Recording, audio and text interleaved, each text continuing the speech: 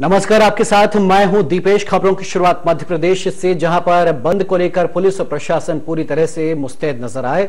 खुद गृह मंत्री भूपेंद्र सिंह पूरे प्रदेश की कानून व्यवस्था पर नज़र बनाए हुए हैं।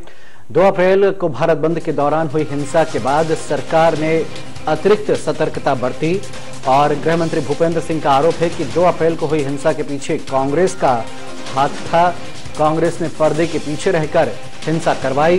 गृह मंत्री का कहना है कि आज के बंद का प्रदेश में कोई असर नहीं है। कंट्रोल रूम बनाया हुआ है और मिनट टू मिनट पूरी रिपोर्ट हम वहाँ पर ले रहे हैं। और अभी तक, कहीं से भी किसी अप्रिय घटना की कोई सूचना नहीं है। और हम लोगों को विश्वास है कि जो सुरक्षा के प्रबंध